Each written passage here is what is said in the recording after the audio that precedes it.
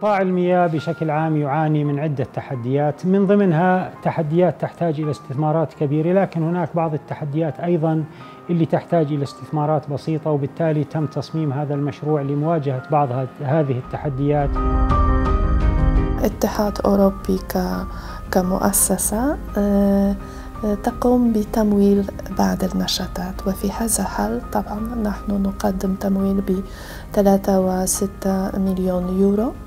وجي اي زد وكالة ألمانية ستكون بتنفيذ هذا المشروع.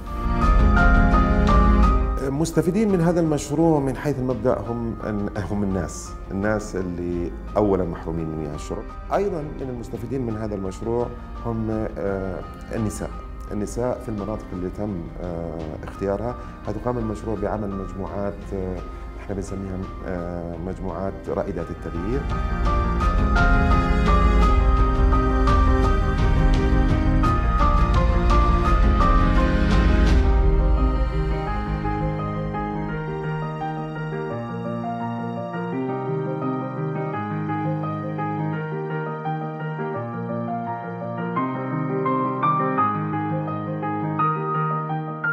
عمل الصندوق الأردني الهاشمي بالتعاون مع الجي آي زد على تدريب هؤلاء الستات على الاستخدام الأمثل للمياه وتعليمهم وتدريبهم على طرق آه، تصليح الحنفيات والبطاريات في في بيوتهم وحتى في في المجتمع المحلي. تقريبا من العشرين سيدة خضعوا تسع ستات لدورة السباكة المتقدمة اللي عقدها الصندوق الأردني الهاشمي.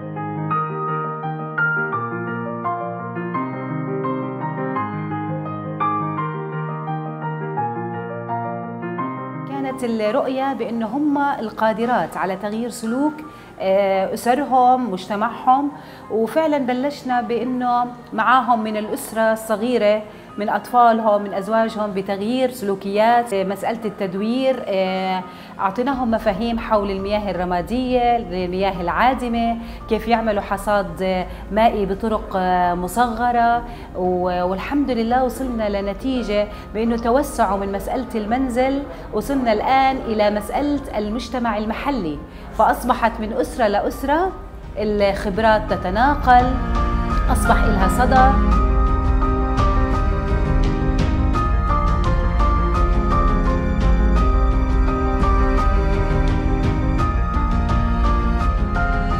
على مستوى المنازل تم استهداف آه، أربع مناطق في المملكة اللي هم مرو آه، مخيبة فوقها مخيبة تحتها معين والروضة في تبديل البطاريات التالفة لما آه، له من أثر كبير في تقليل المياه والفاقد حيث تم تبديل ببطاريات حديثة ذات قطع موفرة للمياه.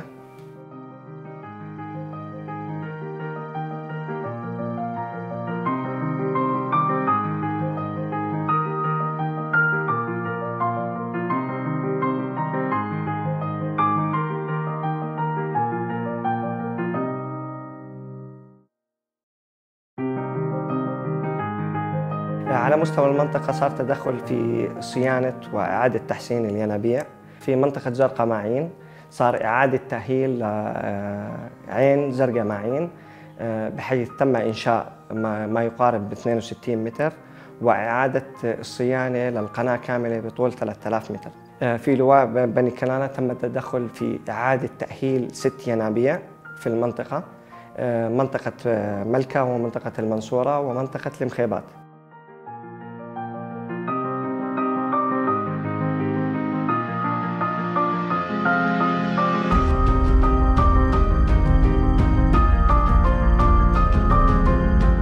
أهداف المشروع هو المساعدة في انتظام التزويد المائي في المناطق الفقيرة.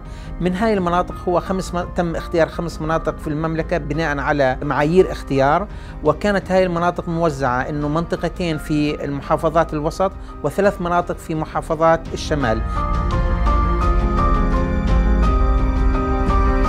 خزان المشروع القديم كان خزان في سعته 200 متر. آه، ما بيكفي في المنطقة عدد سكانها آه، 20 ألف نسمة في الوقت الحالي. يعني الخزان هذا آه، عمل سنة 1977 وإحنا في 2015 يعني خزان 200 متر ما بيكفي لمنطقة زي منطقة الروضة.